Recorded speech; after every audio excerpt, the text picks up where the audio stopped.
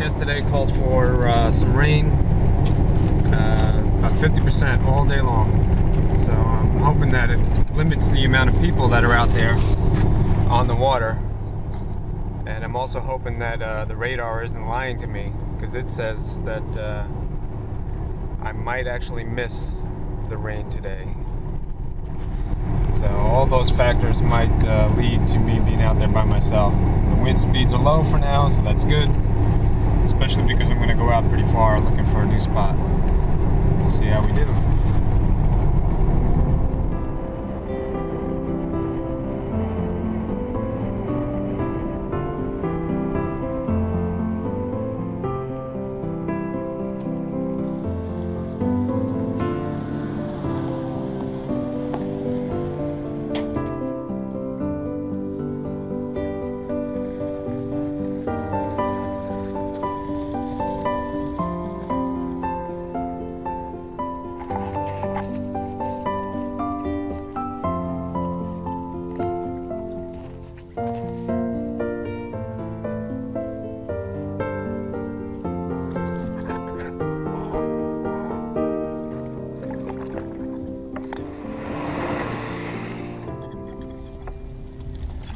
Usually I stick to the trees. Uh, to find shelter from the wind. To go away from boaters. Today the wind is calm and the threat of rain has kept the boaters away. I'm going to stay out here in the uh, in the open flats.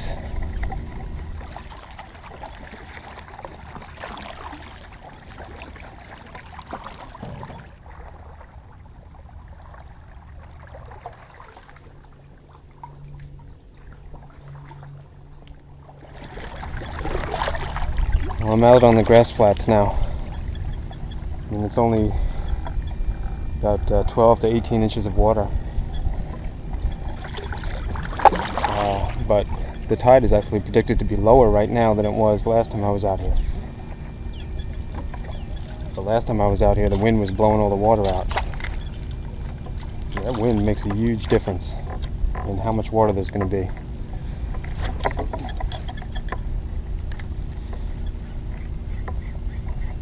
Today I've got plenty of water to navigate, even though the tide was supposed to be lower. You always got to keep that in mind if you're trying to predict how high the water is going to be. Alright, I'm going to set up so I can drift along this flat. I'm going to throw a piece of live bait behind me. Hopefully we get something big.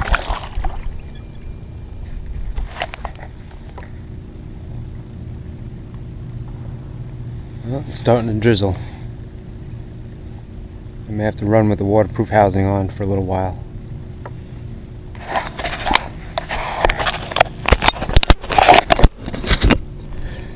You can see there's the uh, regular housing. There's the back door on it. You can see there's no plastic there, only fabric. And that furry fabric keeps the wind noise down. Not something I need to worry about today but that door can come off and I can put on the waterproof back door and that'll make a waterproof housing in case this rain gets any heavier or if I want to do some underwater shots.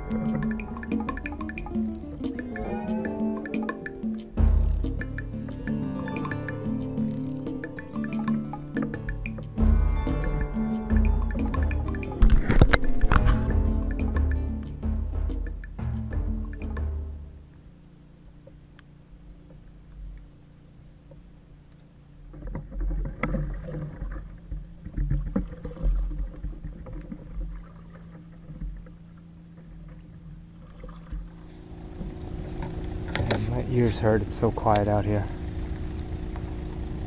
Look at all the fins in the water.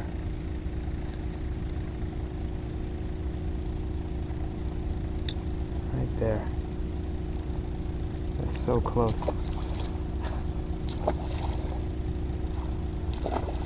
I'm assuming that's mullet.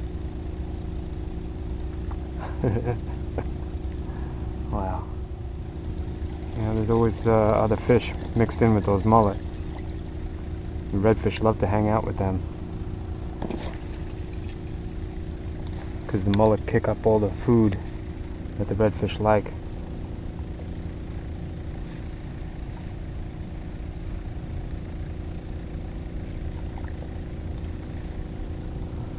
Ah, boy, it's freaking beautiful out here.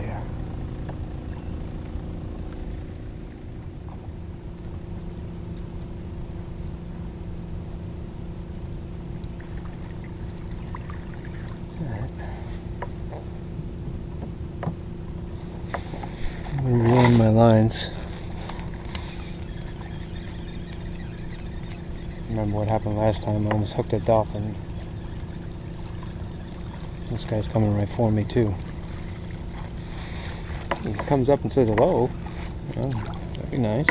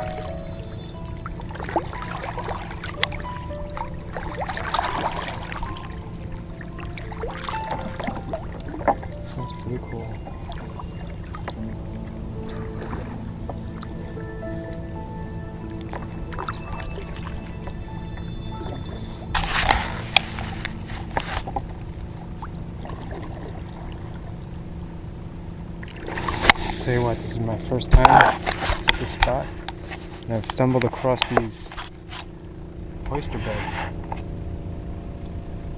Look at that. Sheepshead. Seen redfish, lots of mullet. Some more sheepies.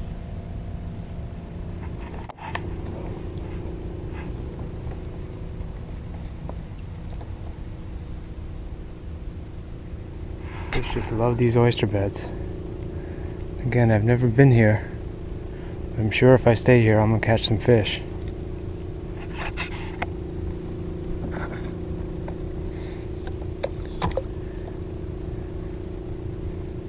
Just really goes to show that if you pay attention to what the bottom looks like, there's a very good chance that you'll be able to uh, target the right areas,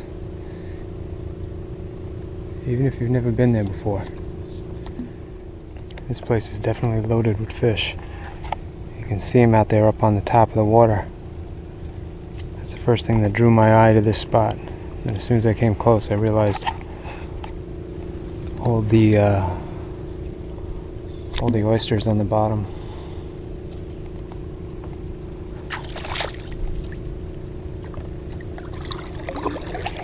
When I looked down, I could see all kinds of fish laying around on the bottom. Kind of like it's a resort down there.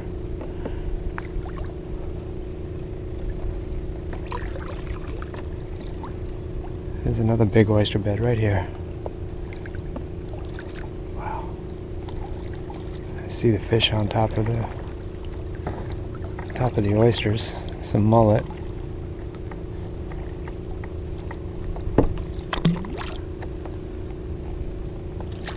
If I wasn't making such a racket, I might not chase them away.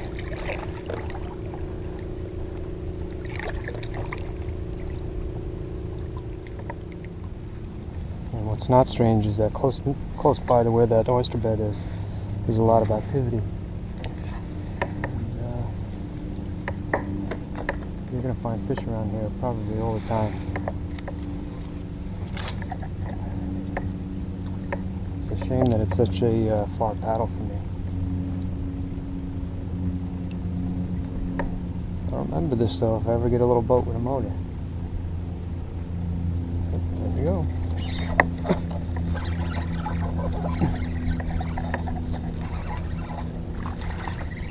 Looks like a little redfish. Oh yeah, see that nice copper color.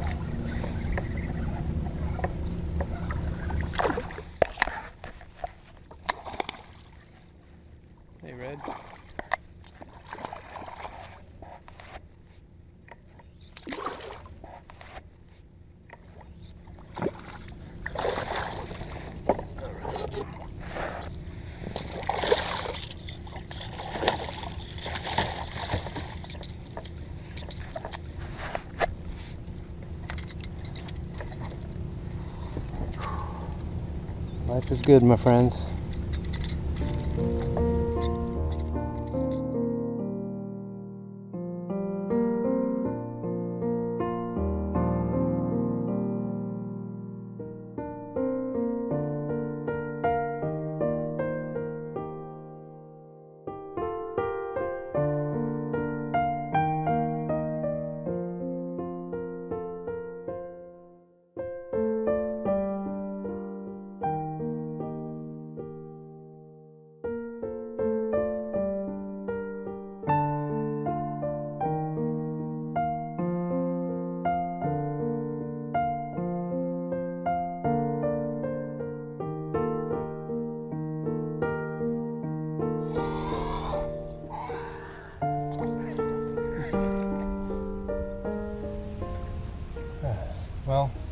Was another example of how you can find fish even though you've never been there before, just by recognizing what the bottom looks like. Seeing those oyster beds was was really neat, um, especially after catching a fish. Uh, proof that um, terrain dictates where the fish hang out, and if you can recognize that terrain, uh, you're going to have a good time out there. Well, thanks again for uh, coming along for the ride. See you next time.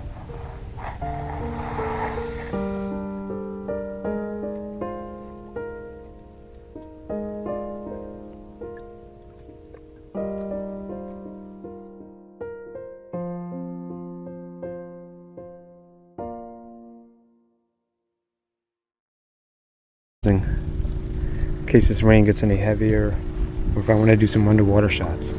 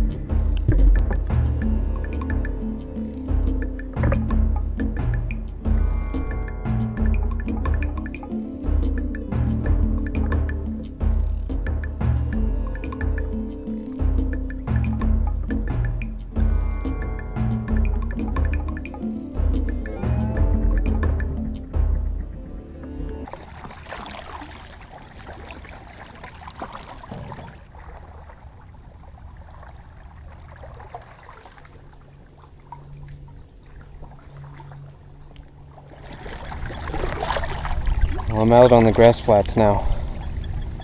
And it's only about uh, 12 to 18 inches of water. Uh, but the tide is actually predicted to be lower right now than it was last time I was out here. The last time I was out here, the wind was blowing all the water out. That wind makes a huge difference in how much water there's going to be.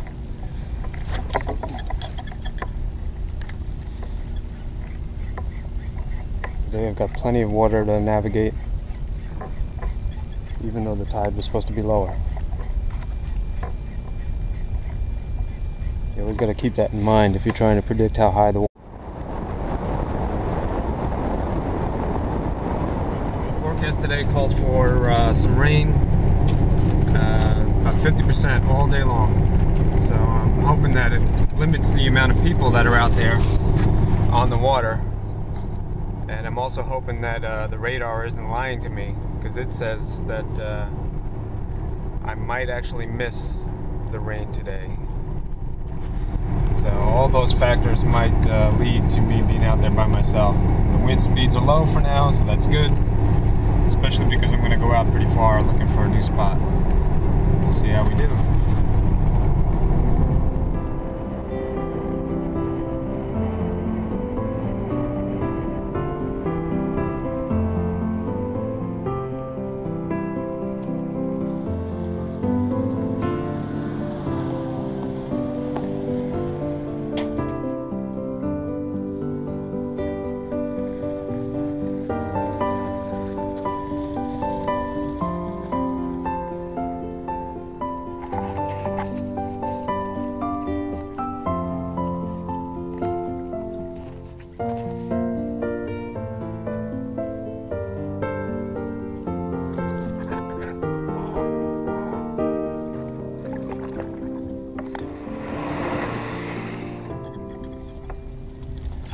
Usually I stick to the trees.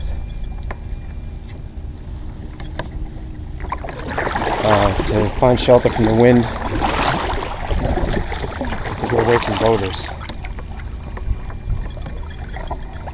Today the wind is calm and the threat of rain has kept the boaters away. So I'm going to stay out here in the uh, in the open flats. Water is going to be. I'm going set up so I can drift along this flat. I'm to throw a piece of live bait behind me. Hopefully we get something big.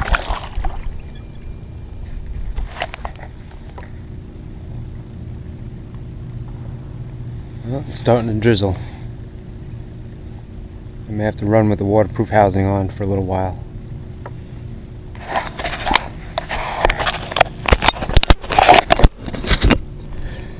You can see there's the uh, regular housing.